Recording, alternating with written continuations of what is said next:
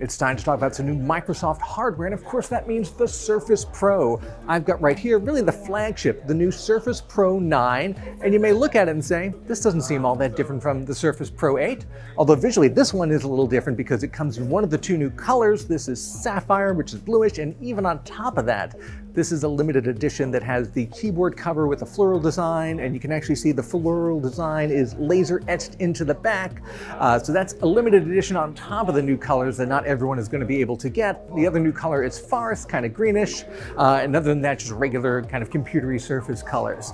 But for the Surface Pro 9, on the inside, we're moving up to 12th generation Intel chips in some of the models, not all of them, because there's actually now two versions of the Surface Pro 9. One of them runs Intel, a very traditional sort of computer device. The other one runs the SQ3, which is a new chip that follows along with the SQ2 and SQ1, and these were ARM chips that Microsoft developed with Qualcomm to originally go in a different device called the Surface Pro X, and that device was a uh, mobile broadband device. Uh, it ran on, uh, it was a 4G device.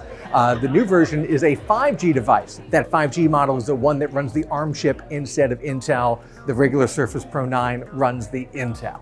Now, the interesting thing that happens when you do that, you kind of fork the system. Now there's two distinct forks within the Surface Pro 9, and on top of one of them having 5G and an ARM chip, and one of them uh, not having 5G, just being Wi-Fi and running Intel, there are actually a bunch of interesting extra features you can get in that 5G version running on the ARM chip because of that Qualcomm chip inside. It has all these studio effects that come into play when you're using the webcam to, let's say, do video meetings. And I got to see some demos of a few of them. Uh, that includes, uh, you know, better background blurring. That includes, uh, you know, following you around uh, in the camera while you move. That includes drowning out background noise. I saw an interesting demo where somebody had a hair dryer going.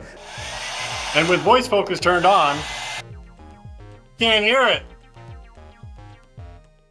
And again, those features, at least for now, are only in the 5G ARM version. That's the Surface Pro 9 with 5G, not in the regular Intel Surface Pro 9. A couple of other upgrades on the inside. You get uh, slightly faster RAM than the previous generation. Uh, we've got Thunderbolt ports now. Here's something I thought was really interesting. You won't be able to see it, I'm just gonna tell you about it, but right up here is the webcam on this guy. And if you set this up as you normally would to do a video meeting, let's say it's sitting here, I've got the little kickstand out. Uh, the camera angle, it's kind of up a little bit. And when I see people on their laptops with their webcams, the camera angle is always a little up the nose like that, even if, even if it's not too low down. So what they did here was they actually tilted the camera module inside this, I think about four degrees down this way, so it's just pointing the tiniest bit down. So when I have it set up like this, it's actually pointed right at me, and that is gonna look a lot better. Now, apart from that stuff, there's not a heck of a lot new about the Surface Pro 9, but it keeps all the stuff that we've liked about this line for years. This is actually the 10th anniversary of the Surface line. So you still have uh, this clip-on keyboard that is frankly still the best in class for a Windows tablet clip-on keyboard. It just kind of magnetically attaches and detaches like that.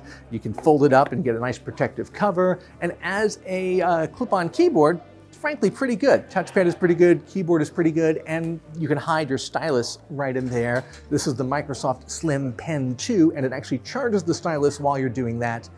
Here's the catch. It's always the catch with these. I talk about this every year when they do a refresh. You got to buy the keyboard cover separately. It's usually 130 bucks. Some fancier versions like this will probably cost more. You got to buy the stylus separately. I think that's another $130. And the uh, Surface Pro 9 itself, I don't think we have exact pricing for it yet, but previous models have started about 800 bucks and gone up from there depending on what uh, CPU you have, how much storage, how much RAM. Uh, so when you put it all together, it is kind of a big investment. Uh, but that said, this is definitely the best tablet keyboard that I've used on a Windows device, and the stylus is pretty good too. One thing you don't have to pay extra is frankly one of the best engineering parts of this product, and it's been like this since uh, probably the, I don't know, third or fourth generation of. They really nailed it. That's this kickstand down here.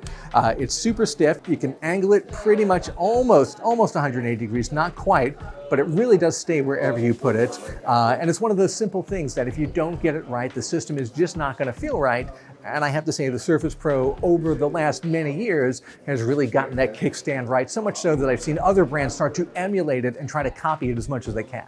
So one thing I like about the Surface Pro 9 and the Stylus Combo is that the stylus has a little uh, button on the back. You just click on it, it pops open a note so you can do your note taking or you can do your sketching. I'm not sure what's inspiring me today. I'm just going to do a little, there we go. I call this person at a Microsoft press event. So you may ask yourself, well, why would I want a complicated device like this instead of just getting a laptop or just getting a tablet? You know, there are a lot of use cases where you want something that's frankly pretty small and light and portable, and that's what this guy is. If you want to sit in bed or on the couch and watch TV or a video or do something like that, you can just pop the top off and you have a standalone tablet that's much more productivity focused than let's say something like an iPad is. Uh, but if you want to have that typing experience, you need to send some emails, do some work, write some reports. But then you clip on the uh, keyboard cover, which is why you absolutely need the keyboard cover even though it's sold separately and you have something that is probably the closest to a full clamshell laptop-like experience I've seen in one of these tablet-based uh, two-in-ones. You can do the same thing with an iPad Pro and get the clip-on keyboard for that, but it's not quite the same because that operating system isn't really built around that sort of productivity. This is just running regular old Windows 11 and all the productivity apps you use with that. Uh, so you get that, you know, entertainment tablet vibe and you get the full laptop vibe. I'm actually very interested in using something like this for uh, gaming, not local gaming because it doesn't have a GPU, but we're seeing so much cloud gaming now, especially from Microsoft with Xbox Cloud Gaming. I could totally see taking this device popping open the uh, kickstand, setting it up here, getting a game controller, and doing Xbox Cloud Gaming through it, and you get a nice little screen for that. So the new Surface Pro 9, that's the Surface Pro 9, the Intel version, and the Surface Pro 9 with 5G. Uh, that's that ARM version that has 5G built in. They're both going to be available starting October 25th. The Surface Pro 9 is actually not the only piece of new hardware today. We've got two other updates. One is the Surface Laptop. That's now up to Surface Laptop 5. And a little bit surprising, the Surface Studio. That is an all-in-one desktop. This is now the Surface Studio 2 Plus because it's frankly not different enough for the last version to be called the Surface Studio 3. I think the Surface Studio 2 came out in 2018, the original Surface Studio in like 2016. So even all these years later, it's kind of a cult product. It has its fans and Microsoft is still making it, still updating it because there's a, you know, install base, uh, a lot of it largely commercial that really use this device because frankly, it is pretty cool for an all-in-one. It looks like a big drafting table right here, but look at that. I can lift it up easily. That Now it looks more like an all all-in-one computer. I can push it down like this and I can use you know, a stylus with it. I can use the uh, old Microsoft dial if my software supports it to uh, you know, go through brushes and stuff. But this is the same exact chassis as the 2018 version. The only real difference is here, they have updated the CPU, but not to 12th gen, uh, to an 11th gen uh, new Intel CPU. Uh, the graphics card is now an NVIDIA RTX 3060, which is pretty good. Uh, they've added Thunderbolt to some of the ports, but other than that, this is the exact same product as it was uh, 18, 19, uh, four years ago. Uh, the same exact chassis, although frankly, it's still pretty nice. I really like the hinge on this and the flexibility. Screen bezel feels kind of big these days, frankly, in 2022.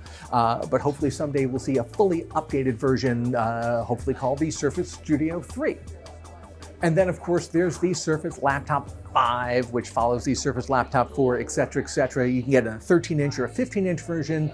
New this time, really very, very little. Uh, there's some new colors, including this green that actually uh, looks pretty nice. Again, we've moved up to 12th gen Intel processors, uh, upgraded to Thunderbolt on some of the ports, and it's got faster RAM, but other than that, it's really exactly the same as the Surface Laptop 4, which was a perfectly fine device. I actually like the Surface Laptop line a lot because um, it's a pretty slick looking Windows laptop, but if you want something that has kind of that MacBook Air vibe, but running at Windows, and they're reasonably priced. They're not that expensive anyway, but they're often on sale. I find around holiday time, especially through the Microsoft Store, there are a lot of good discounts on these. So this is one of my secret uh, ways to get a really good laptop and spend less is to wait for a nice sale on the Surface Laptop by Microsoft. And the latest version is going to be the Surface Laptop 5.